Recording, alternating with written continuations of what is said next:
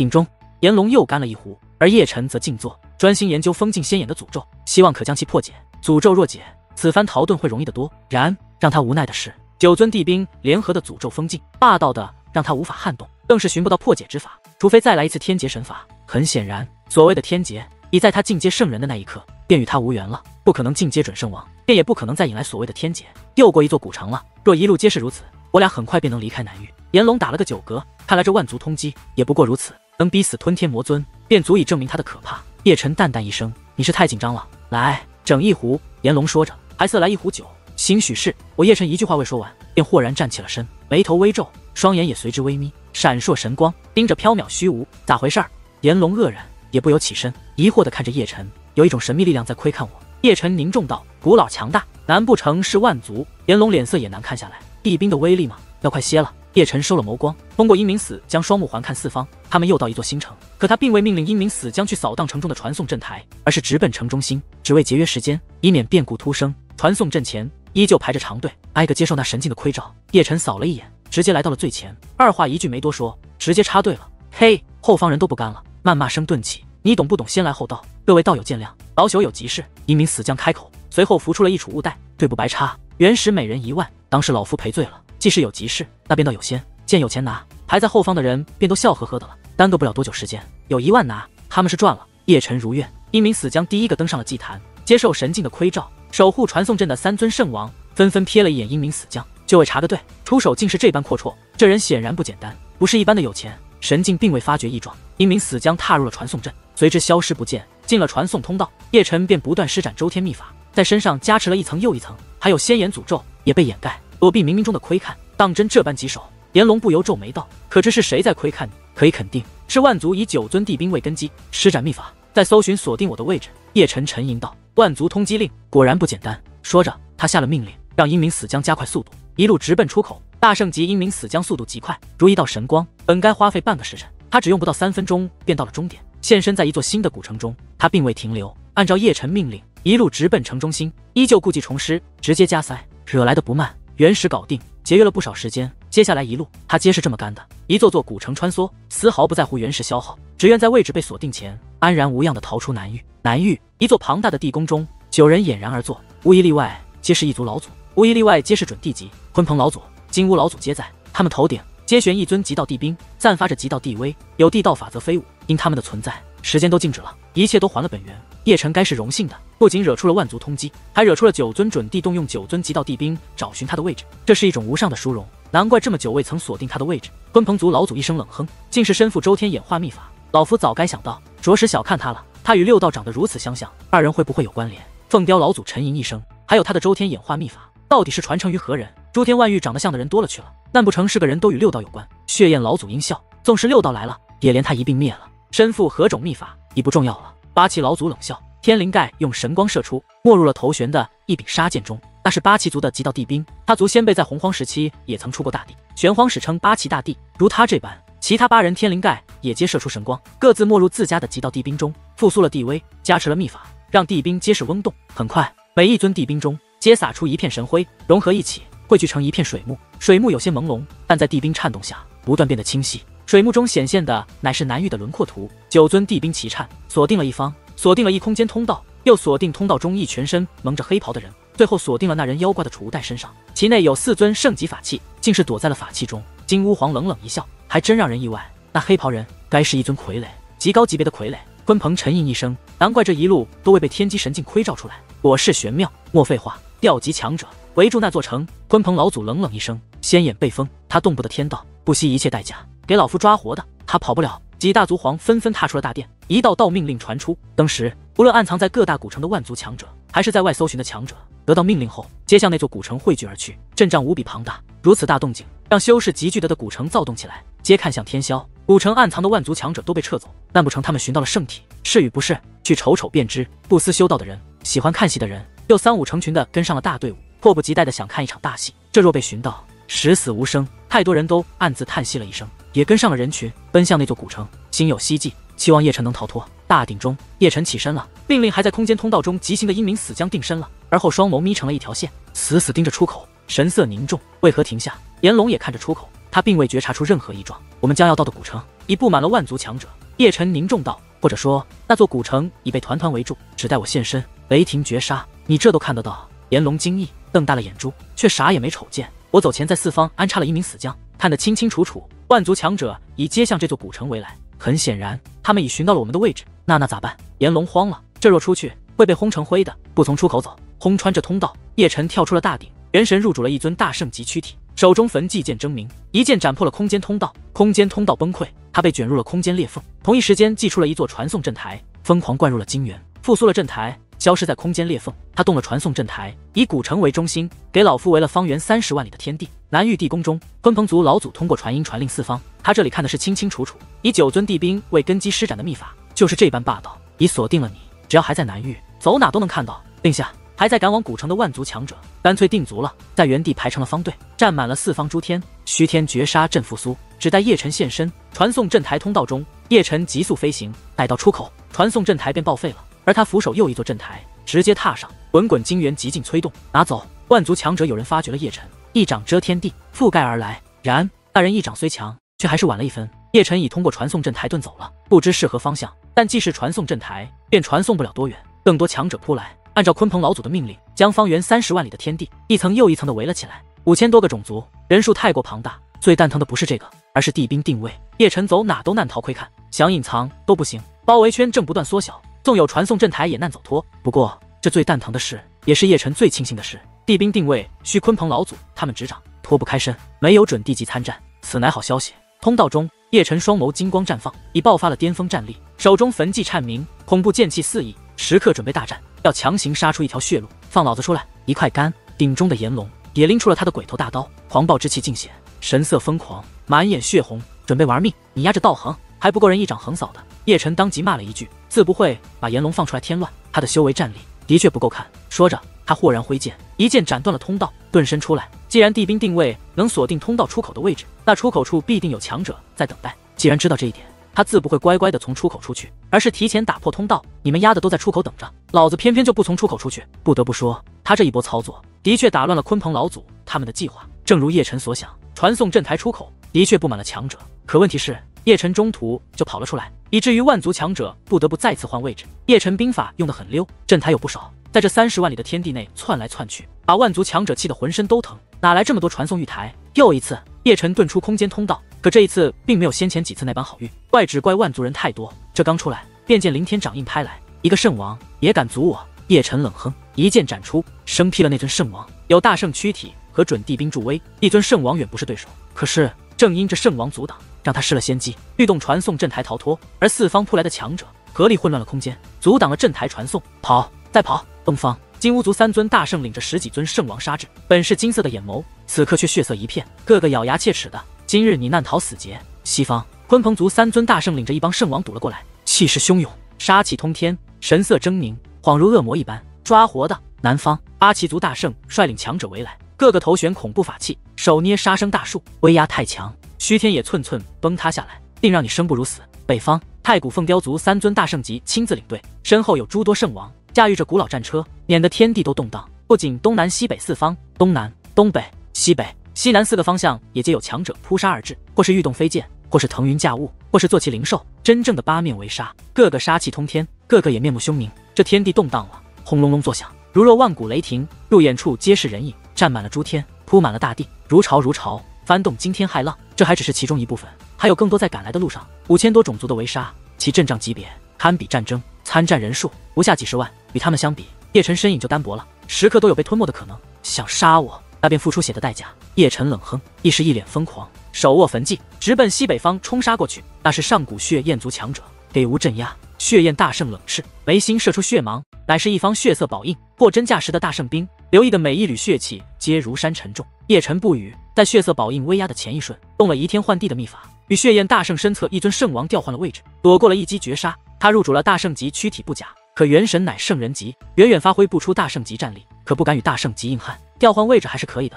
他走了，那尊血焰圣王便遭了大殃，被那大圣级的血色宝印干得措手不及，肉身被碾成了血肉，元神真身也难逃寂灭。混蛋！血焰大圣暴怒，一掌扫向叶晨，可叶晨走位依旧骚，又动了移天换的。与一尊千丈外一尊血焰族人调换了位置，又是血劫，俺准圣被碾杀，而叶晨却遁到了后方。后面皆是多是圣人级和准圣王级，被他一剑扫灭一片，杀出了血路，禁锢空间，破解移天幻的鲲鹏族大圣怒喝，欲动了本命法器。其他族的大圣也不傻，手捏秘法封禁了天地空间。移天幻的兽族叶晨疯狂挥动准地剑，一路生劈，如海人潮中，硬是被他干出了一条血路。大圣之下，无人能挡他一剑。给无风几尊大圣先后杀至，合力催动一张大圣级的天网，凌天而下，要活捉叶晨。此乃封禁法器，专为捉人用。叶晨自不敢硬汉，最主要的是不能被困住，一旦一步小慢了一分，铺天盖地强者杀至。他是真的大圣，也难逃脱出去。电光火石间，他召唤了一尊英明死将，如一道神芒直插天霄，挡住了天网。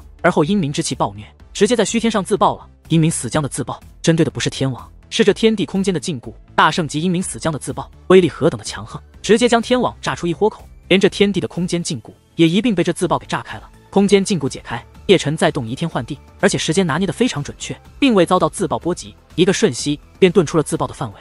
他虽走了，可万族强者就惨了，特别是自爆范围内的强者，成片成片的化作了血雾。大圣级强者身形也极度的狼狈，混蛋！怒喝声顿起，杀气滔天。这么多强者，不乏大圣级，竟被一入主大圣躯体的圣人搞得如此狼狈。大辱，奇耻大辱！诸多的大圣合力，又一次禁锢空间，攻击他的元神真身。此话一出，四方强者皆了然，各个眉心绽放仙光，一道道神芒射出，每一道皆璀璨，每一道皆寂灭，锁定了叶辰元神。叶辰心颤，第二尊大圣级英明死将祭出，想都没想，直接自爆，空间禁锢又一次被炸开。在被诸多元神剑击中的前一瞬间，他在动一天换的，显之又显得避过绝杀，不然多半被诛灭，鲜血染红天地。被叶辰调换的人，惨叫声都省了，身神俱灭，你当真该死！一尊八旗族大圣施展挪移大神通，堵住了叶辰去路，混乱了四方的空间。一指幽芒直逼叶辰眉心而来。叶辰冷哼，第三尊英明死将杀出，替他挡了一指。而他豁然挥动了准地剑，将那八旗大圣劈得翻飞，险些被一剑生劈了。短暂一瞬，金乌大圣自身后扑至，一记掌刀劈得叶辰血骨横飞，还未等出第二掌，便被英明死将一拳轰得噔噔后退。七八尊大圣联袂杀来，或是法器，或是神通，同一时间打出。叶辰双眸血红。命令第三尊大圣级英明死将迎面对了上去，没说的，直接自爆。那七八尊大圣当场被炸得血骨淋漓，他是真的发狂了。一尊尊英明死将被祭出，一尊接着一尊自爆，围上来的强者或是直接殒命，或是被炸得横飞出去。他的疯狂打法，他的不计代价，在黑压压的人群中硬生生炸出了一条血路，配合移天换的和缩地成寸，遁出了包围圈。拿走！鲲鹏大圣追来，手持一杆战戈，一击洞穿了他躯体。叶辰豁然转身，一剑劈退了鲲鹏大圣。同一时间。与千丈外一颗巨石交换了位置，躲过了漫天的攻杀，彻底跳脱出去。传送阵台已祭出，一步踏上，疯狂灌输金元，要借阵台遁走。铺天盖地的强者杀至，眼见阵台已催动，纷纷施展大神通混乱空间，可还是晚了一步，未能挡下叶辰。他消失在了天地西北方向，追！缥缈虚无，传来了冷哼声，乃是鲲鹏老祖锁定了叶辰位置，知他往那方逃窜，为万族指明方向。追！万族强者面如冰霜，怒声震天，或是用传送阵台，或是御剑。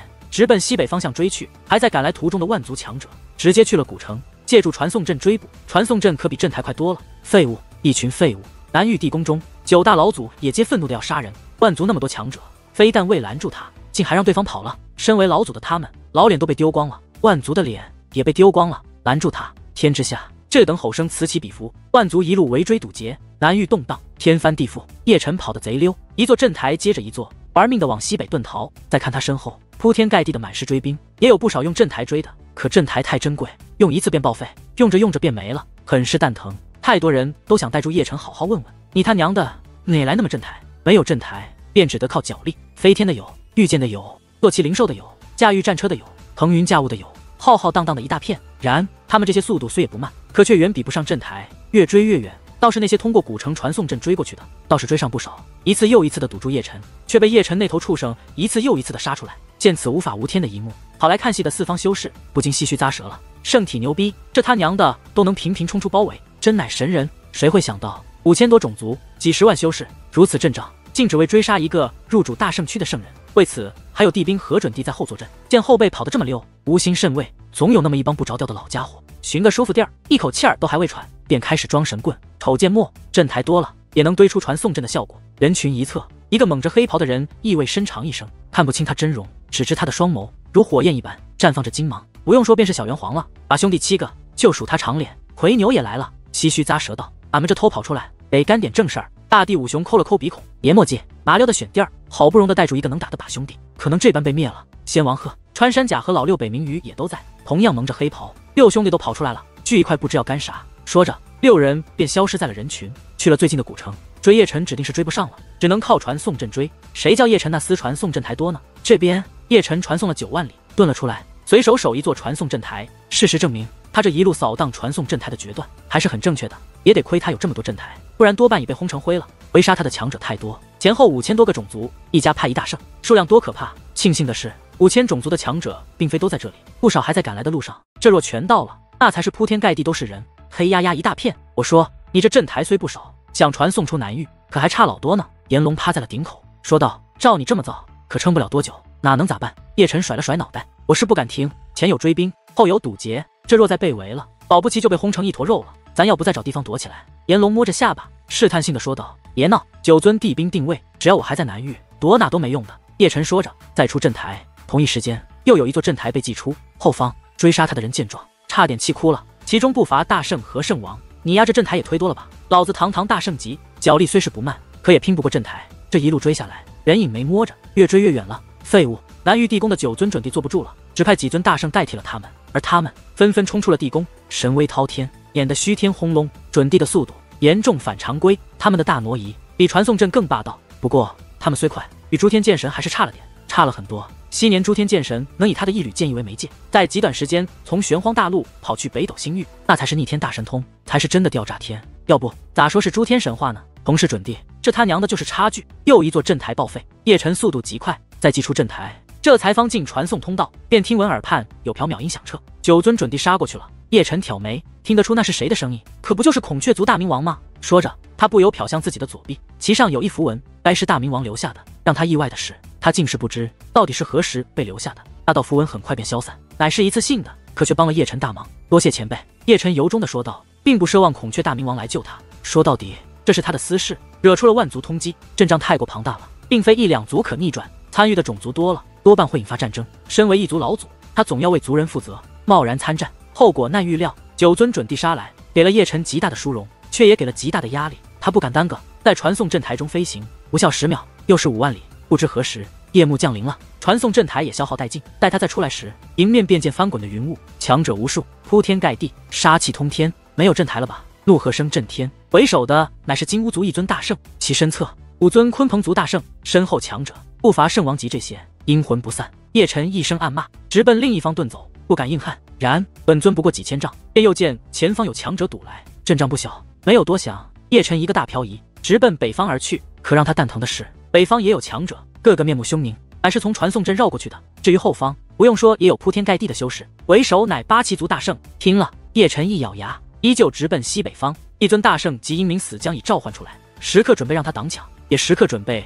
让他自爆伤敌。金乌族大圣率先杀至，手捏大印，并未用元神剑，只因上头交代要捉活的。这若元神剑射过来，搞不好会把叶晨绝杀。英明死将已扑过来，一拳紧握，与金乌族大圣硬抗，却被一掌打得后退，身躯也裂开。与活的大圣相比，他战力差太多。此一瞬间，叶晨已动了移天幻的，越过金乌大圣，欲在动移天幻地时，却发觉这天地空间被几尊鲲鹏大圣直接给封禁了。封了他，几尊大圣即联袂杀来，各自执掌了封印法器。封我，叶晨满眼疯狂。英明死将直入天霄，当场自爆，空间禁锢被炸开。叶晨动了移天幻的，避过封禁，再次遁逃。无道要看你能炸开几次。几尊大圣冷哼，再起封禁，那便继续炸。叶晨将所剩的英明死将一口气全召唤而出，一尊英明死将自爆，炸开了禁锢。他施展移天幻的，空间再禁锢，他便在自爆英明死将。双方拼得火热朝天，很热血。很显然，叶晨是拼不过的。大圣级英明死将全灭，剩下的圣王级、准圣王级和圣人级英明死将的自爆，远达不到效果。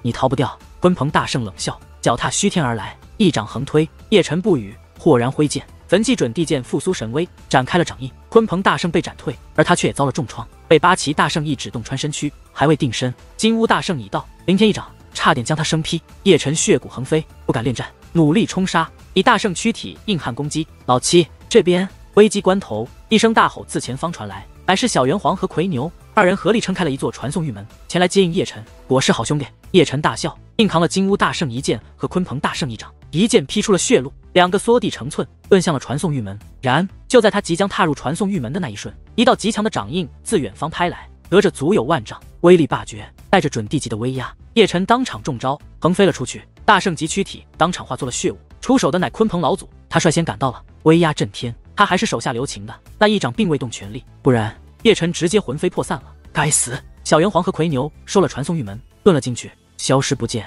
就差那么一点，他们也只得遁走，在四级寻法去营救叶晨。再看叶晨，就有些凄惨了，一路横飞，撞破了十几座山峰，飞出去足有几百里，最后才落入了一片漆黑无比的大地上。鲲鹏老祖杀至，双目冰冷，杀机肆虐，本想一掌镇压叶晨，可见叶晨身处的漆黑大地，便又豁然驻足了，眉头也皱了。金乌老祖、八岐老祖他们也杀到了，却也如鲲鹏老祖一般驻足，神色忌惮地看着那漆黑大地。堂堂准帝却是不敢上前，万族强者自四方围来，铺天盖地，如汪洋大海，数量足有几十万，占满了四方虚天。铺满了苍茫大地，压得虚天震荡。只是他们人虽多，可见了那漆黑大地，也都纷纷驻足了。有不少人还下意识后退了一步，神色惊惧，脸色也随之苍白。看戏者也到了，见那漆黑大地顿然色变，冥土禁区，天地动荡，轰隆声不断，漫天满地人影，皆看着前方大地。那大地是漆黑的，一望无际，也有山川大河，却是死寂沉沉，未见生灵显化，毫无生气可言，枯寂而阴冷，古老的神秘，其内时而有风拂出，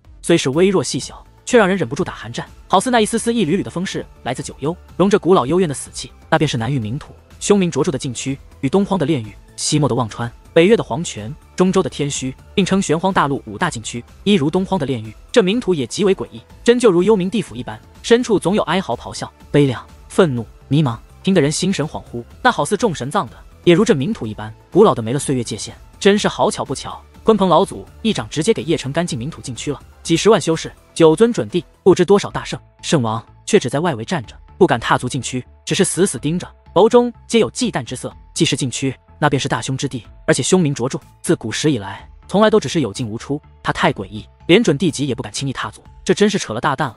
人群一角，小元皇和魁牛他们蒙着黑袍跑来了，见是冥土禁区，也不由色变。那可是一片死地，在里面总比外面好。九尊准帝在外。这若出来，难逃一死。大地五雄沉吟一声，脸色极度难看，也指明土的凶名。圣体此番该是真的贵了。四方修士叹息，蓝玉一次次因他而掀起轩然大波，中野难逃万族通缉，进退皆是死。能惹出九尊准帝亲临，纵是死了，他也带着无上殊荣。鲲鹏，你瞄得够准啊！金乌族老祖不由瞥了一眼鲲鹏老祖，那么多方向，你压偏朝这个方向打，不知这里有禁区，我等进是不进。你这一掌着实尴尬。八岐老祖和凤雕老祖也皆阴阳怪调一声。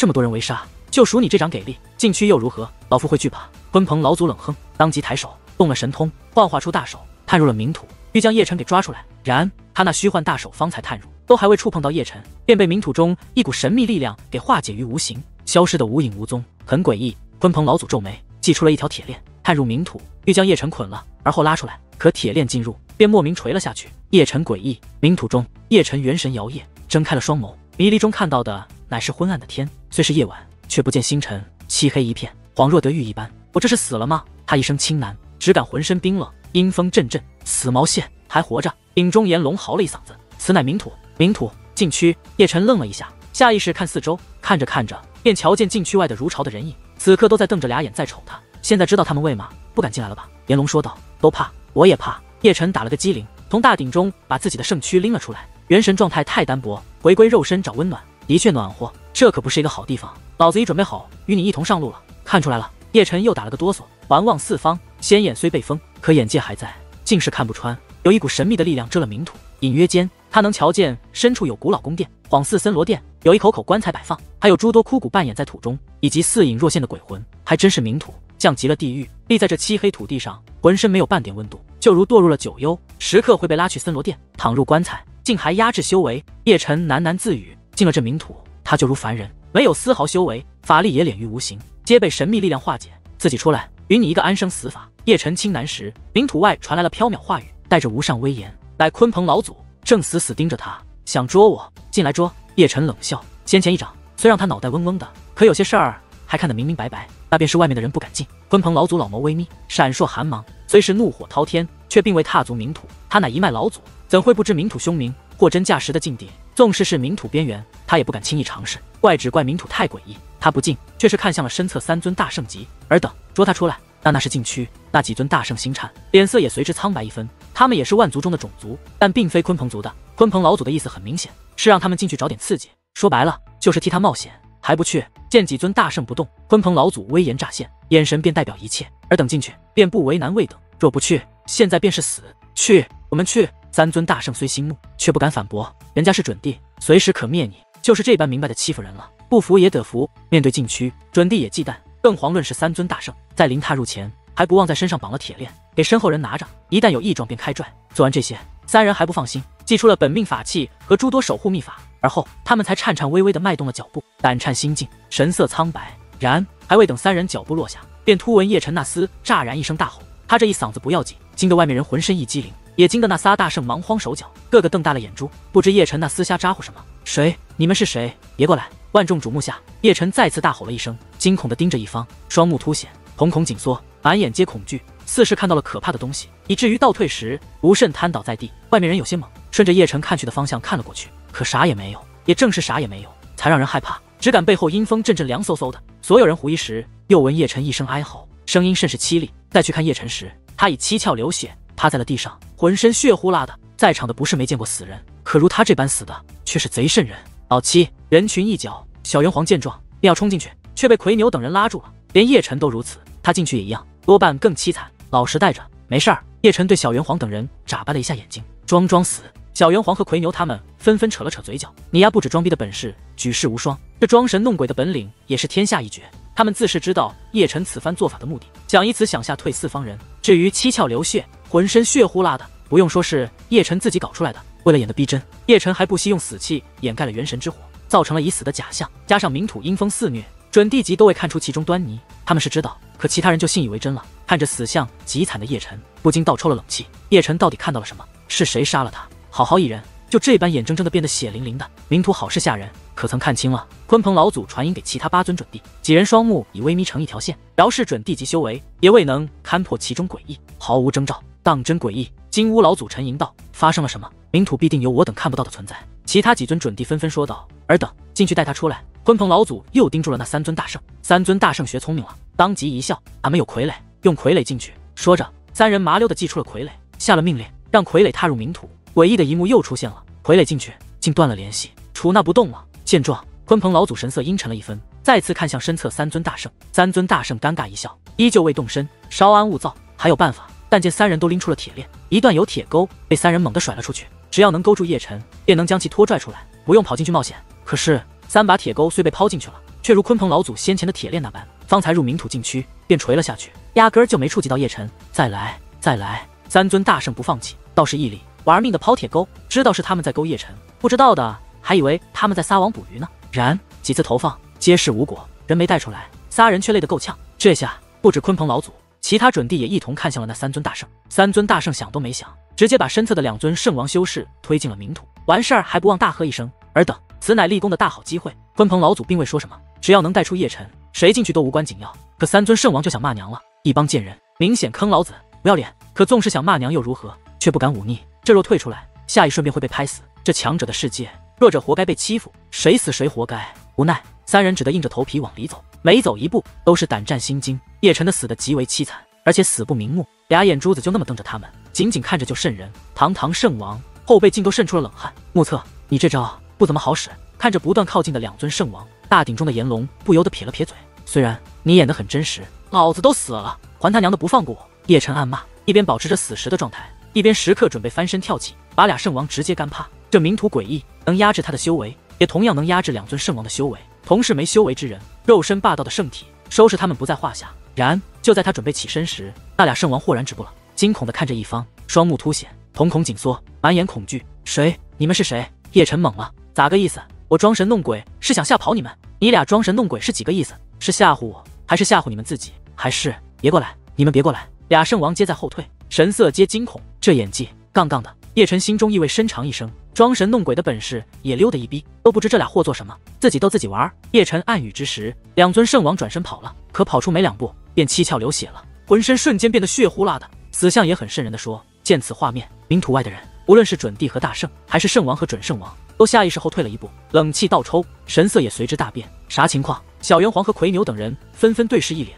一时间有点懵逼。现场最猛的还是叶晨。同在冥土中，他能清楚的感受到两尊圣王已死了，元神之火已寂灭，也便是说，是真有人杀他们，这就有点吓人了。让他都有点忍不住回头看了。身后真有人，一时间他顿感背后凉飕飕的，总觉有一双眼睛在盯着他，但他却一动不敢动，很本能的以为是自己装死骗过了那可怕存在。这若动了，保不齐会被补一刀；若再死，那可就冤了。他发懵之时，外面又有一人进来，更准确来说是被鲲鹏老祖扔进来的，乃是一尊大圣级。本想转身溜，却被一掌推进来，惨状再次发生。大圣也如那俩圣王一般，进来冥土便欲跑出去，可一步踏出，直接七窍流血，浑身血糊了，直接死绝。这下鲲鹏老祖和其他八尊准帝又下意识的后退了一步，一尊大圣转眼被灭了。冥土中到底是何等的存在？众人猜测，起码是准帝级。可问题是，他们分明是啥也没看到。跑！外面已有人受不住惊吓，多是看戏者，已转身遁跑了。冥土太吓人了，人影没见一个，却是前后四人死相极惨。一经有人开遁，便形成了连锁反应，成片成片的人转身走了。天晓得冥土中的可怕存在会不会跑出来？这若跑出来杀人，会有不少人遭殃。来看戏的可不是来找刺激的，早走为妙。于是乎，黑压压的人影变得稀松了，越来越多的人转身遁走，其中不乏万族的人，生怕再被强者推进去送死，太恐怖。走，鲲鹏老祖也转身了，准地级的他也怕了。以他的眼界，什么也没看到，这就是可怕之处。他有理由相信冥土有鬼灵。他走了，其他八尊准帝也不分先后。圣体既已死，万族通缉便也算成功了，没必要再在这里。冥土禁区真是太瘆人了，准帝都走了，谁还敢留在这里？偌大的天地，几十万的修士瞬间一哄而散，直奔最近的古城，只愿快些离开这片天地。也并非所有人都走了，小元皇和奎牛他们还在，也只剩他们六个，还驻足在冥土之外。见四方人退完，这才呼唤叶晨。叶晨机灵一下爬了起来。头也没回，连滚带爬的跑出了冥土。待跑出冥土，他便回头看，除了飘渺的阴雾和那两具圣王尸体，啥也没瞅着。阵阵的阴风倒是越发冷了，带着乌嚎。瞅见末，叶晨看向了奎牛和小元皇，先前背后可有人？啥也没。六人皆摇头，一个慌神儿，俩圣王就跪了。你嘞？叶晨目光放在了鼎中炎龙身上，可瞅见异状没？瞅着。炎龙挠了挠大脑袋，很明显，他也蒙着呢。那这就奇了怪了。叶晨也挠头了，睿智如他，也一头雾水了。本是装神弄鬼。谁曾想真闹出了人命，而且是两条，同是在冥土，他俩死了。喂嘛，你没事？几人皆瞪着圆溜双眼看着叶晨，这也太匪夷所思了。里面有你家的亲戚，别闹！叶晨双眸微眯，死死盯着冥土，这的确诡异的反常规了。他想不通，到底是何种原因让他有了活命的特权？别来无恙。冥冥中，叶晨似是听到飘渺话语，不知传自何处，沙哑而沧桑，不待人的情感，就如一具傀儡吐露一般。谁？叶晨豁然转身，一句话惊得众人差点当场尿了，一惊一乍的。你丫有病吧？众人大脸发黑，这他娘的心里正发怵呢，你又突然来了一嗓子，人吓人，真会吓死人的。你们没听见有声音？叶晨挑眉，试探性的看着众人，哪有声音？你别吓俺们！几人下意识的抱团儿，环看四周，一向天不怕地不怕的他们，此刻也顿感背后凉飕飕了。什么情况？叶晨揉脑袋了，他分明听到了有人在说话。如今的你竟是如此不堪！飘渺话语再起，让他猛地回头，盯住了无边的冥土。此番他听得清楚，声音传自里面。他双目近乎眯成了一条线，死盯冥土，却并未得见丝毫异状，只有那一语古老枯寂的幽音在耳畔神海回荡，带着魔力。走走，麻溜走，这地儿忒瘆人。小元皇以第一个转身，回牛等人也不拉后，走出两步，还不忘回身把叶晨一并拽走。叶晨有些神经质了，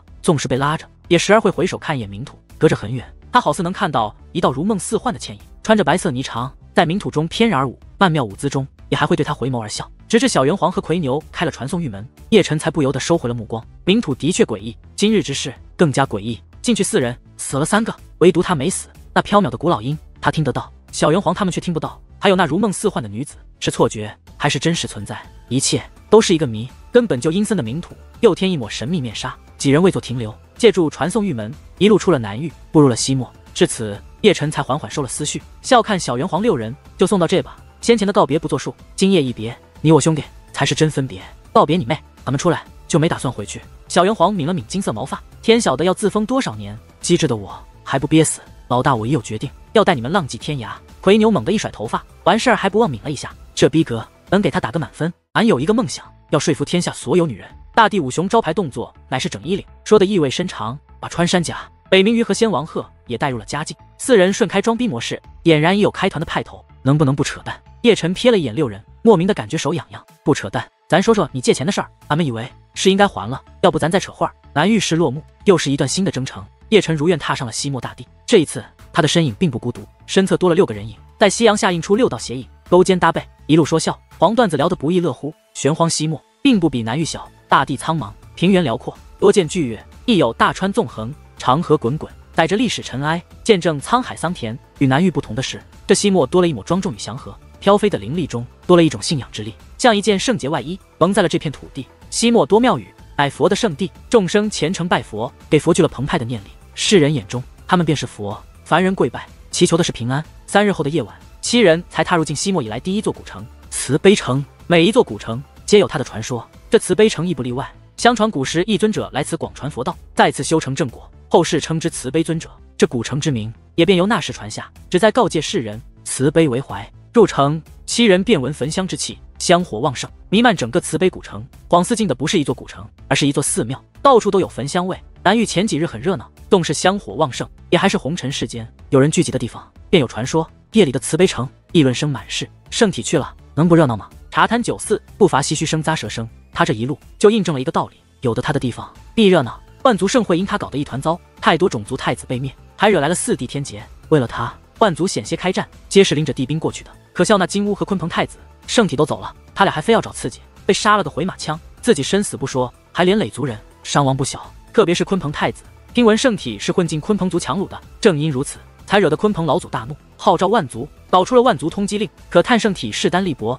叹息声此起彼伏。听闻为了捉他。五千多种族参与进来，还有九尊准帝动了九尊极道帝兵，圣体一次次杀出，却也终难逃死劫，葬在冥土也算安生。说到冥土，才是真的诡异。提到禁区名，太多人都忍不住打了个寒战。算上圣体，死了四个，个个死相极惨啊！我就奇了怪了，为嘛到哪都有你的传说？小元皇扛着无尽铁棍，没好气的白了叶晨一眼，能不能让俺们也火一把？道友，你可曾见过这个女子？对于小元皇那厮的话语。叶晨直接无视，他此刻正拎着一幅画像，满大街的挨个问。至于画像上的人，乃一女子，自然便是楚轩儿、楚灵。她来玄荒西漠，便是来寻自无泪之城出来的那女子。若真与画像上的人长得一模一样，不用说，八成就是他们其中一个。然他这一路问下来，得到的回应多是摇头，没见过。那道友可知先前降临在西漠的无泪之城？叶晨不放弃，每次都问这问题。无泪之城出来的女子，可知道如今在哪？进了一座尼姑庵修行，不知是哪个。不少人皆是这回答。多谢叶晨有些遗憾，陷入了沉默。玄荒西漠多庙宇，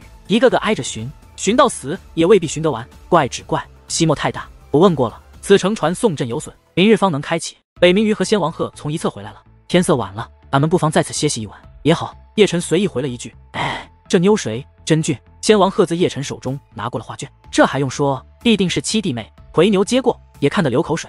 借我用一碗咋样？小元皇戳了戳叶晨，笑得极其猥琐。话落，那厮便飞出去了。直接上了九霄云外，老久都没下来。奎牛和大地五雄他们纷纷咽了一口口水，麻溜的将画卷还给了叶晨。别看人排行老七，最猛的就是他了，少找他逗乐。叶晨走开了，期间还不忘瞟了一眼天空。若见小元皇那厮落下来，还会毫不犹豫的再补一脚。老子的女人，你也敢想？奎牛和穿山甲等人也瞅了一眼，便勾肩搭背的去了古城一方。来前，他们已打听清楚，此城有青楼，而且紫色个个不错。这组团去喝花酒，保不齐还能说服一两个。他们一贯宗旨，叶晨就正常多了。一路走一路问，期间也动周天找转世人。遗憾的是，这慈悲城并没转世人，而他也因再次动了周天演化，寿元和修为被吞噬一丝，他的境界已跌倒了圣人初级，也便是说，用不了多久，他就会跌下圣人级，成为准圣级。蓦然间，他驻足在一个小摊前，乃是卖法器的小摊，摊位主乃一老叟，许是生意不好，正揣着手打瞌睡。呼噜声贼响，他没去打搅那老叟，而是抬手自摊位上抓起了一把铁棍，更准确来说，应是一把铁鞭。黑不溜秋，入手之感很是沉重。打神鞭，他皱眉了，极为确定这是他曾经用过的打神鞭。两百多年前，大楚天玄门拍卖，他拍下了打神鞭。一百多年前，为救大楚黄烟，被司命星君拐走，说是姜太公之物。让他意外的是，打神鞭竟又现身在诸天万域，让他想不通。打神鞭似还记得他，在他手中嗡动，似是欢快，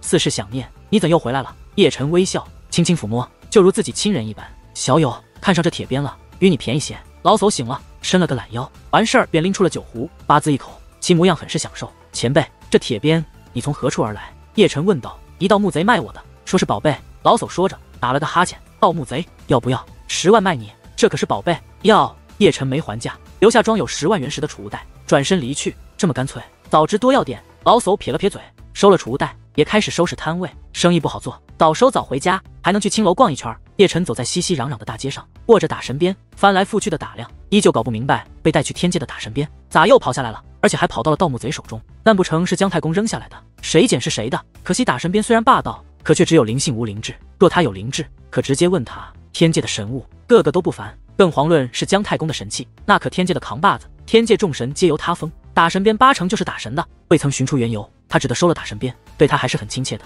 至少陪了他百年，也是从大楚带出来的宝物。时隔这么久，用着很是趁手。他又拿出了画卷，一路走一路问，不知不觉中，他来到一座城隍庙。夜里的城隍庙依旧人影攒动，进进出出的人不少。九成以上皆凡人，或是求平安，或是求富贵，皆是为好运来祈福。庞大的香炉中插满了檀香，亦有聚宝盆，其内装满了铜钱。叶晨沉默不语，看着潜心跪拜的凡人们，他不由微微一笑。很久以前，还未踏上修士路的他，也如他们一般，在漆黑夜里对着破庙的佛像潜心跪拜，期望他也能有一个温暖的家，每日都能吃饱饭，不用忍饥挨饿。不用与野狗抢食物吃，神明该是开眼了，让他成了修士。除了温暖的家，其他愿望皆已达成。可看得多了，经历的多了，才知红尘有多可笑。这世间真的有神明？叶晨自嘲一笑。凡人眼中，他们便是高高在上的仙。凡人跪拜仙，仙呢？该跪拜谁？跪那苍天。最后看了一眼，他直接进城隍庙大殿，入眼便见一座神底像，凡人称之为城隍爷，乃城池的守护神。凡人间几乎每座城皆有城隍庙，也都供奉着城隍爷，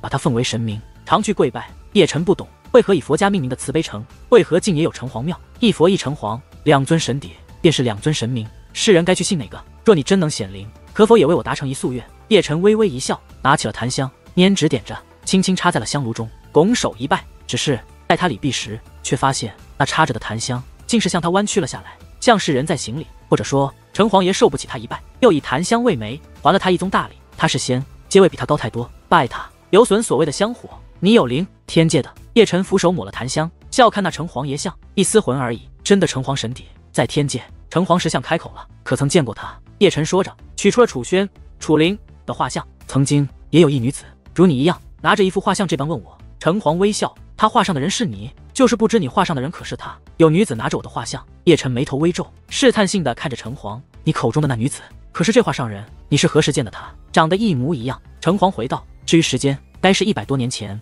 一百多年前，叶晨喃喃一声，思绪飞转，忆起了古老事。一百多年前，与姬家老祖所说时间吻合。姬家老祖见过楚轩、楚灵，结合城隍所说，那女子必定就是他们其中一个。叶晨很是欣慰，不止他在找他们，他们也在找他。纵使他们还都未曾解开前世记忆，可一个轮回又怎能挡住一个情？更为巧合的是，他也曾来过这慈悲城，也曾拿着画像询问城隍。这或许就是冥冥中的定数，只是上苍弄人，他们错过了。强行压下了心中激动心绪，叶晨又看向城隍。前些时间，无泪之城降临玄荒西漠，有一女子走出来，此事你可知晓？知晓。城隍笑了笑，莫问她在哪。纵是城隍，也不知。多谢。叶晨说着，转身出了大殿，心绪激动的难以压制。这才方出城隍庙，便听闻一声狼嚎声：“老大，有人干我！”仔细去听，乃是小猿黄纳斯，声音霸气侧漏，震得古城一颤。叶晨听到了，在青楼和花酒的魁牛也听到了，牛脾气当场就上来了，拎着个大斧头杀了出来。狂暴的气息让人骇然，还有大地五雄、北冥鱼、仙王鹤和穿山甲也都拎着家伙出来了，直奔豪生原处。那片天地瞬间便响起了惊世轰隆声。叶晨抬眼遥看那方，才见小猿皇在与谁干架？那是三个蒙着黑袍的人，气息强大，其修为境界皆不低，乃是准圣王级。对于那三个黑袍人的血脉，叶晨极为熟悉，乃是妖族之人。大战火热，六对一的阵容直接干到了城外。城中凡人大多躲入了城隍庙和庙宇，匍匐跪了一片，以为是触怒了仙人。至于修士们，早已跑出去看戏了，三五成群，一片又一片。叶晨直接无视，又拎出了画卷，准备一路询问。三个准圣王完全在几人承受范围，特别是奎牛，一人便足以硬当圣王。然正打着，情况就不是那么回事儿了。又有一人加入了大战，乃是妖族的人，修为是圣王级，瞬间压制了奎牛他们。老七，骂呢？帮忙！奎牛大骂声传来，震得天空嗡隆。叶晨无奈，终是收了画面，一步踏出了古城，入眼便见六个把兄弟被揍得漫天乱窜，一个圣王。三个准圣王干得很凶，他的到来让奎牛几人麻溜的凑了过来，个个皆是鼻青脸肿，却个个皆如打了鸡血一般。老七来了，让他们颇有底气。你也是到哪哪有事儿？叶晨瞥看小元皇，打个情况，这次真不怨我。小元皇骂了一句，火眼金睛，满是乱窜的烈焰，霸烈之气汹涌。正他娘的走着，仨人就跳了出来，死活要买俺的铁棒，俺指定是不干啊！一言不合，开打了。闻言，叶晨微微侧手，饶有兴趣的看着对面妖族一圣王和仨准圣王，三位好歹是前辈，强买强卖。这有点欺负人了，好言商量，不识抬举。一妖族准圣王冷笑，也是颇有底气的说：“对面最强是圣人，也只有两个，剩下皆是准圣级别。他们这边可是有圣王级坐镇，明摆着欺负人了。咋的吧？这货我的！”魁牛大骂，抡动战斧杀了过去，直奔说话人，找死！那尊妖族准圣王冷哼，一掌压来，却被魁牛一斧头劈翻了出去，手骨血淋。若非底蕴还响，多半已被生劈。丹大地五雄和小元皇他们大嚎，直奔剩下俩准圣王。至于妖族那尊圣王级，自是要留给叶晨了。没办法，谁让老七最猛，万族通缉，那么强者都能杀出好几波，可牛逼，真看得起我。叶晨撇嘴，先前那般凶猛，那是有大圣躯体助威，还有诸多不弱的英明死将，以及一把霸道的准地剑。可如今大圣躯体被毁，英明死将全部自爆，也就只剩那准地剑。以他圣人级的战力，远发挥不出准地兵的真正威力。最主要的是，他的修为因周天而跌落，早已不在巅峰状态。此番对上圣王级修士，虽是能占上风，可也难将对方斩灭。老夫很佩服尔等的魄力。叶晨撇嘴时，那妖族圣王悠悠一笑，一双枯寂双眸盯住了叶晨。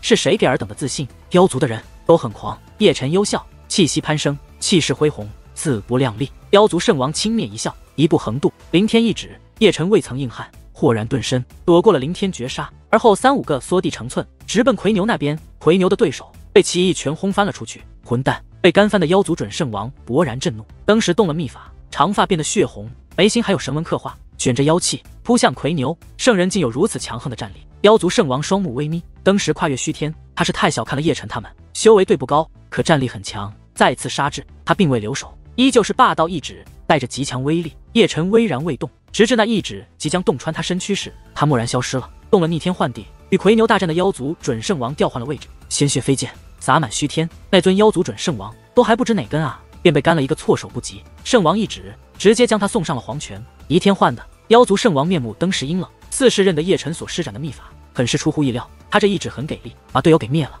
老七干得漂亮！奎牛咧嘴一笑，算是搞明白叶晨先前为嘛跑他这个战圈了。其目的便是拉近距离，以接妖族圣王的手灭掉妖族的准圣王。这操作很骚，而且被叶晨用得很溜。去帮他们！叶晨随意回了一句，死死盯着对面妖族圣王，生怕那厮跑去小元皇他们那边作乱。他的绝杀很是霸道。奎牛回忆，转身去了小元皇他们战圈，还未加入那边大混战，便霸气侧漏的嚎了一嗓子：“难得打服，兄弟们，朝死干！”他这一句话。让小元皇他们顿时逼格大开，三对一的阵容，谁怕谁？别看俺们修为低，可俺们都是畜生，都畜生！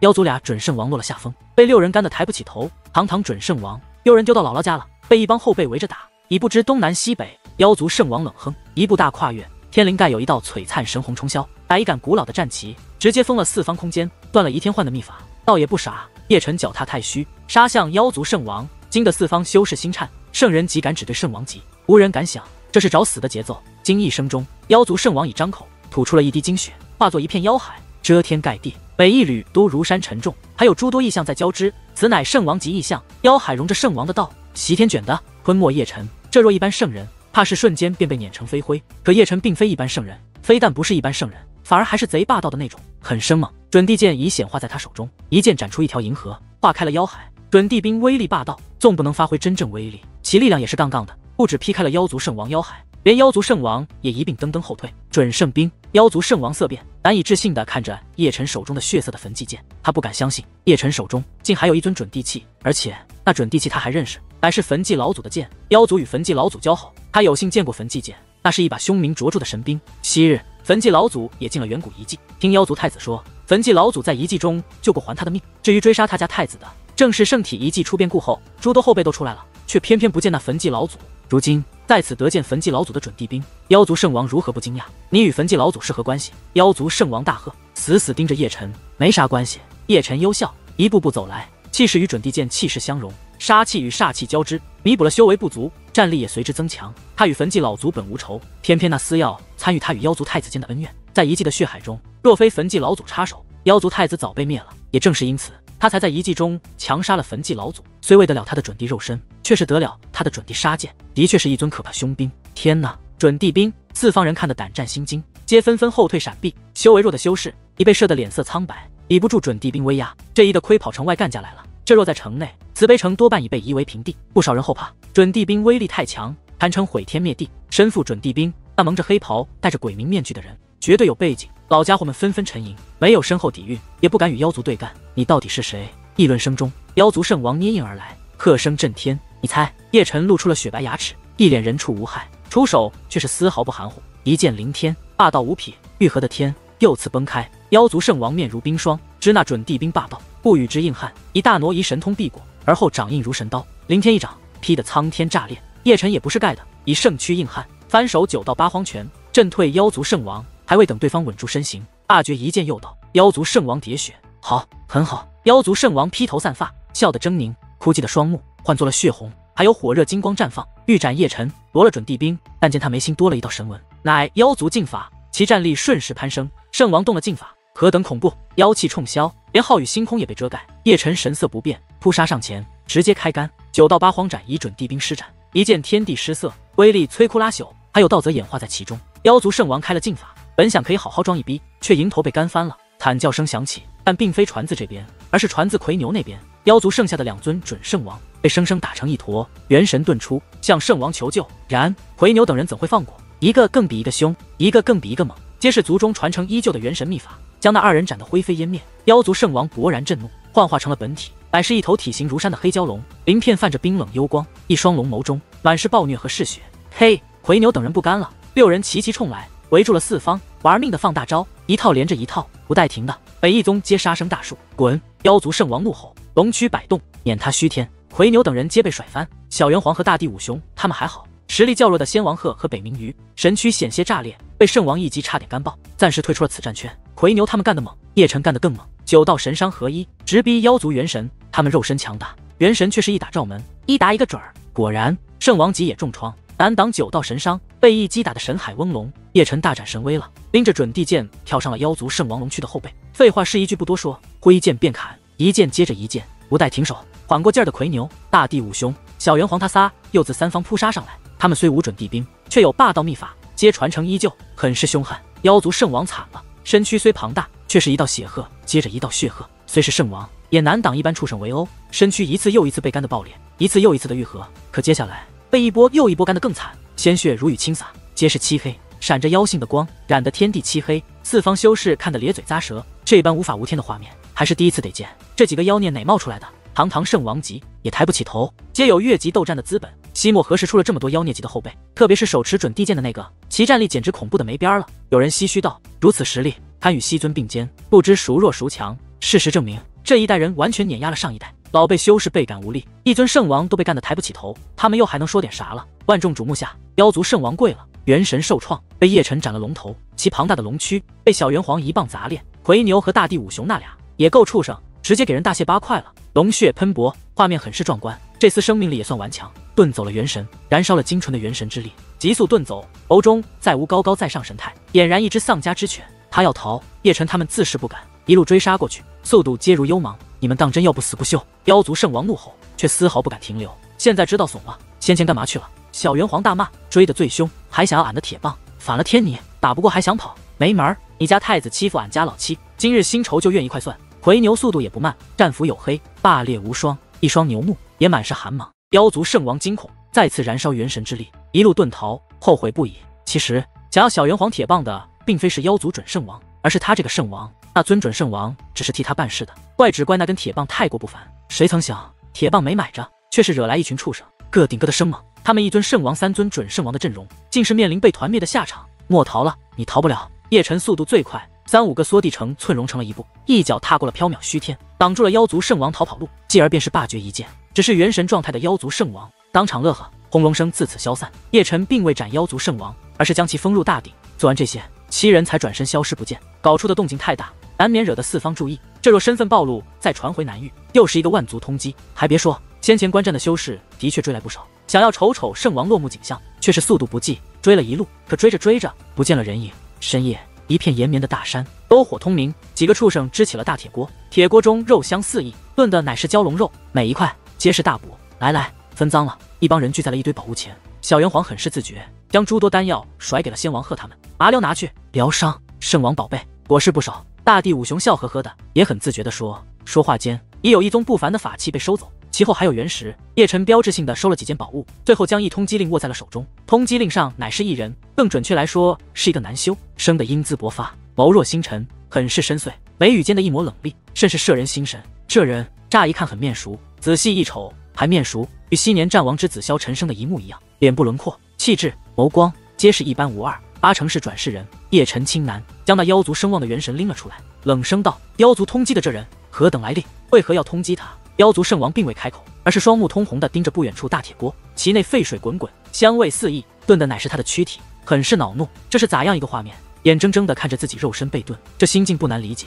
面前这帮兔崽子，果是畜生妖孽，让人恨得牙痒痒。回答我的问题。叶晨淡淡一声，将萧晨画像悬在了妖族圣王身前。这人何等来历？还有，你妖族为何要通缉他？你若放了我，我便说。妖族圣王冷冷一声，很是嘴硬，好说好商量不听，非要找刺激。叶晨冷哼，一掌按在妖族圣王天灵盖上，动了搜魂秘法，要强行掠夺妖族圣王记忆。然让他无奈的是，妖族圣王元神上竟有一道古老的禁制，正是那古老的禁制阻隔了他的搜魂，或者说强行搜魂，妖族圣王元神会分崩离析，而他的记忆也会随之烟消云散。真是小看你了。叶晨收了神通，而那半死的妖族圣王也瘫了下去，只因搜魂太霸道，陷入昏厥，又被塞回了大鼎中。这货看着这般面熟嘞，回牛那厮凑了过来，摸着下巴，盯着叶晨手中的通缉令，对转世消沉的画像看了又看，老大真是健忘，那是雷霆战体。大地五雄瞟了一眼画像，一眼便认出，昔日咱还跟他干过一架，那货很是能打。看我这脑子，奎牛拍了拍脑门，俺说看着这么面熟呢。雷霆战体，叶晨挑眉，这是又啥个血脉？闻所未闻，没听过很正常。先有人知道，小元皇捧着一块龙肉啃得正香。洪荒战体你该是听过，雷霆战体便是他的一脉分支。洪荒战体。叶辰心神不由一颤，那是一种洪荒时期才有的逆天血脉，其传承之久远，其血脉之霸道，更甚荒古圣体战神刑天便是一尊洪荒战体，大地下第一人，神话级的存在。洪荒战体的一脉分支，血脉不用想也很霸道，这让叶辰很是欣慰。大楚故乡又出一尊长脸的，其功法必定强横霸绝。看你这表情，这货是你家亲戚。众人纷纷看向了叶晨，那必须好兄弟。叶晨悠悠一笑，日后见着，客气点。没说的，他就是咱家老八了。奎牛咧嘴笑得没脸没皮的，大地五雄和小元皇他们也个个搓手，俩眼放着锃光瓦亮的神光，已迫不及待寻到雷霆战体，歃血结拜了。那血鹰是很美妙。见这派头，叶晨不由扯嘴角，这帮马兄弟个个都是畜生般的人物，逮着一个血脉霸道的，多半都会忍不住给人放点血。锅中龙肉已熟，几人不再扯淡，围住了大铁锅，酒香四溢。叶晨没去参与，而是用秘法弄醒了妖族圣王，欲继续询问。妖族圣王是醒了，却是浑浑噩噩，神海翁龙。头颅直欲炸裂，也得亏他是圣王级。这若换做准圣王，早在搜魂下葬身了。你不说，我早晚也会知道。叶晨话语清冷，目不斜视的看着妖族圣王。你可以硬扛，不过我会让你乖乖开口。他是雷霆战体，妖族圣王怂了，有理由相信叶晨让他生不如死。他斩了我族三皇子，圣主震怒，这才下令追杀。可曾寻到他？叶晨眸光犀利，盯得妖族圣王浑身发颤。我等从北岳追到了中州，不见了其踪面。听闻他来了西漠，便一路追杀过来。妖族圣王说道。其双眸光很暗淡，叶晨未曾再问，挥手将其塞入了混沌鼎，心中不由多了担忧。妖族并非一般种族，乃远古九族之一，底蕴深厚，更有准帝和帝兵坐镇。这若谋族竟追杀萧晨，很可能会有惨状发生。正想间，他突感仙眼一颤，先前九尊帝兵的诅咒竟消失了，这让他有些惊愕。正纠结如何破诅咒，不成想他自行解除了。这惊喜来的让他措手不及，感觉到瞳力急速复苏，磅礴的力量让他双眸雪亮。王牌又回来了。多少给了他诸多的底气，惊喜之余，他又有些疑惑。地兵诅咒绝不会无缘无故消失，难不成他们以为我死了，这才撤了诅咒，以免损地兵？回去了。他疑惑之时，不远处的魁牛和小元皇他们已纷纷起身，个个扬手遥看西南虚天，神色莫名，不知在干啥。叶晨思绪被打断，下意识侧手看着众人，什么回去了？我们各自的家族接回祖地了。回牛等人说着，又坐了回来，也便是先前所说的自封，不知何年何月才会归来。祖地。叶晨微微一皱眉，尔等家族。皆不是玄荒本土，自然不是。先王鹤一笑，我们的先辈皆乃古时来的玄荒，只遇今天变故时才回归祖地避难。就如这次家族自封，祖地在星空深处，或者说是宇宙边荒。北冥羽也插口了，饶是我们，也并不知真正位置，那距离无比的遥远。不只是我们，玄荒大陆很多势力，诸如远古九族和仙族、凤凰族这些，也皆非玄荒本土，他们的祖地也在星空深处。金乌族和鲲鹏族那些，也多半回了祖地。你的危机暂时解除了。小元皇笑了笑。万族通缉结束，不必再受制他们。难怪叶晨摸了摸下巴，喃喃自语：难怪仙眼上的诅咒封禁解除，多半与他们回归祖地有关。真是意外之喜。没有家族支撑，我等照样能闯出天地。魁牛举起了大酒坛，此番当是历练了，俺们兄弟的大名会传遍整个玄荒。一句话让气氛瞬间热烈起来，兄弟肝胆相照，倒也不做作。叶晨心有感慨，也很欣赏魁牛等人的魄力，皆是大族太子，不随家族回祖地，反而只身历练。要知道，玄荒处处是危机，这或许是他们族中老辈想看到的，才会强行带他们回去。真正经历风雨，才能成长，经得起昏倒世道磨练，方能蜕变。时至黎明，众人才摇摇晃晃起身，化解了酒力，踏入了虚天。天色大亮，哥七个回了慈悲城。清晨的慈悲城，议论声满街市，说的皆是昨日事。七个妖孽级的畜生，干了一票大的，终于火一把了。小元皇抿着猴毛，走路都倍儿有精神，跟着老七走，大把的逼装。大地五雄一脸的意味深长。老实说，我这扛把子。很尴尬，奎牛狠狠挠着大脑袋，不扯淡，都有啥打算？传送阵前，叶晨率先定住了步伐，饶有兴趣的看着奎牛等人。分别的话不说，来一点干脆的，我要去东荒。穿山甲笑了笑，先瞧瞧东荒第一美女，完事儿穿越玄荒星海，去东方星空会有一段漫长的历练。俺们恰好相反，去西方星空，仙王鹤和北冥鱼勾肩搭背，尿性都是一模一样的，还未出过玄荒，当是见见世面。俺俩北边的小圆皇一手扛着乌金铁棒，一手搭在了大地五雄肩膀。北方星空该是很热闹，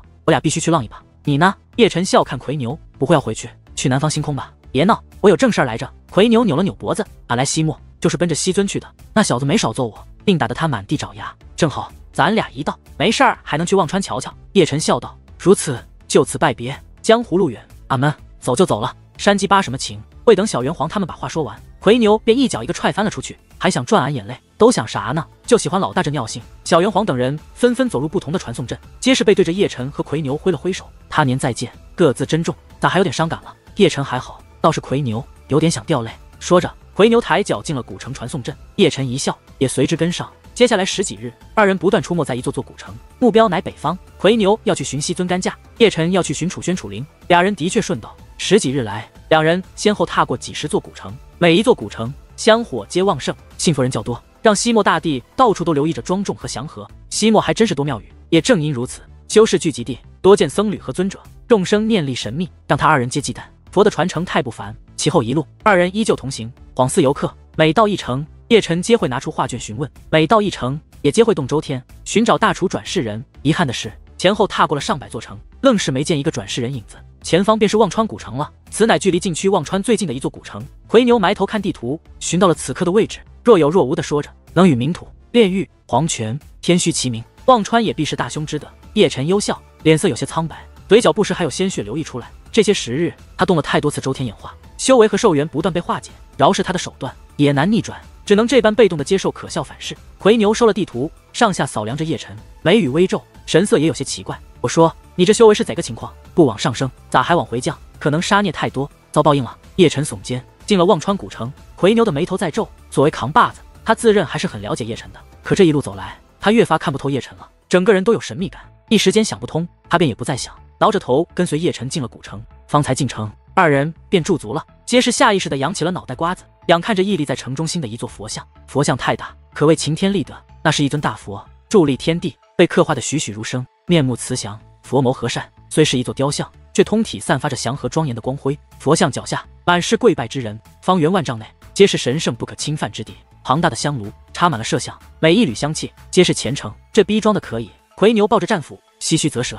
人混到这份上，才是真的屌。纵是死了，依旧被世人记得，很尿性。叶晨不语，静静仰看。知那佛像是谁？正是玄荒一百三十地中最为诡异的佛地，与大日如来竟是咒幻化的佛影一模一样。蓦然间，他还能听闻神海有洪钟大吕声，夹杂着浑厚的佛音，源远流长，古老而神秘，也带着一种让人无法抗拒的魔力。他不由皱眉，固守心台，忌惮之色更甚。还真如昔年太虚古龙所说，修炼了大日如来净世咒，便再难甩掉与佛的因果。真正感见识过念力威力，他才对佛祖生出敬畏。众生念力浩瀚，那是一股无穷的力量，同阶的大地多半不是其对手。佛家的传承不知始于何种年代，却注定会是一脉不会断绝的香火。哪怕世人还有一个虔诚跪拜者，他们便会长存世间。我去找点乐子，你可别独自走了。明日一同去瞧瞧禁区忘川。奎牛拍了拍叶晨肩膀，便扛着战斧，哼着小调走开了。叶晨没有回话，也自佛地雕像收了目光，打量着忘川古城。此城一如他们一路踏过的几十座古城一样，香火很是旺盛，更有佛地雕像伫立，更是惹来四方朝拜，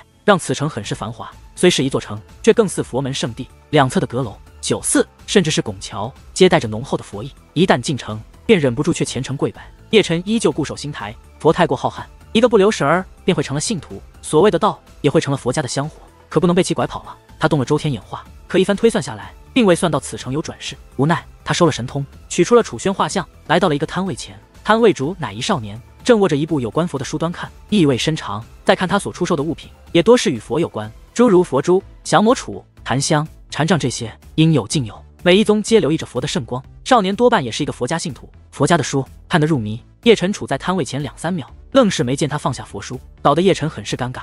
前辈可曾见过此人？叶晨摊开了画卷，口中称的乃是前辈。摊位主虽是少年模样，其实是个老家伙，圣王级的那种。闻言，少年这才放下古书，一双洁净眸子瞟向了那画卷。看着看着，他不由摸起了下巴。这女子的确有些面熟，大约一百多年。至于哥那见的，倒是忘了，好似也在找人。叶晨心境一颤，惶惶又道，语气谦卑：“前些时日，西漠降临无泪之城，其内走出一女子，前辈可知晓他此刻身在何处？”不知。少年轻摇头，又拿起了佛书，去问释迦尊者。他乃万事通，该是知晓。三日后灵山，他会去那里讲佛法。多谢前辈。叶晨拱手，转身离去，心中压抑不住激动。有了释迦尊者这目标，他没有再去询问他人，而是一路在大街上闲逛，目光在两侧摊位扫来扫去，期望能淘些宝贝出来。佛家的物件，他自不敢轻易触碰。大日如来净世咒的因果还未了断，他可不想再添其他因果。佛家不凡，万不能惹。这一圈逛下来，的确颇有收获。圣人级法器被其扫荡了不少，其中不乏准圣王法器。一路受，他日分派给转世人。不知何时，他才转身进了一家小酒肆，寻了一个靠窗位置。很快，回牛那货来了，脖上挂着一串佛珠，一颗颗皆是璀璨，很是不凡，闪着佛光，有佛之意境，乃一宗特殊的佛器。除了这些，他手腕上也多了一串念珠，还有他腰间有一袈裟，被揉成腰带，捆在了那里，仅仅看着就有够生性的。刚买的阿布拉风，回牛坐下，牛气冲天，一口气灌了一坛。那老头还想骗俺，俺砍价的本事可是祖传的，佛家的宝物，最好不要招惹。叶晨悠悠一声。轻轻抿了一口浊酒，与这传承结了因果，甩都甩不掉，并非是好事。放心，老大我有分寸。奎牛咧嘴一笑，听说那释迦尊者三日后会在灵山讲法，你去不去？那可是一尊准地级尊者，准地级尊者讲法，自然要听上一听。既是来了，不会错过。那你可隐藏好点，届时会有你的老熟人，更准确来说是仇家，也皆跑来听法。诸如妖族神子和神族神子那些贱人，到哪都有事儿。叶晨揉眉，总觉有一种极其不好的预感。若西尊也去，那是最好。奎牛狠狠扭动着他的牛脖子，狂暴气息又上来了，偶重在绽放雷光，也省得老子到处寻。